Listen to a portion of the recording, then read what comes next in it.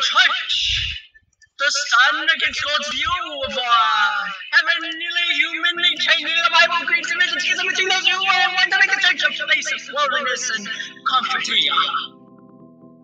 And those who adore Lord and Savior, the Prince of Peace and democracy.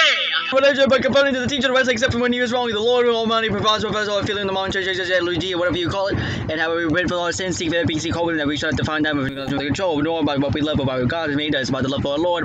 What God made us, and by the love of our Lord, and our peace. Live, brothers and sisters.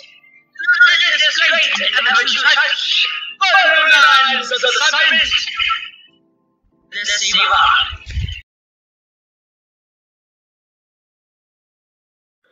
Do not listen to this bigot's hateful lies. We must stand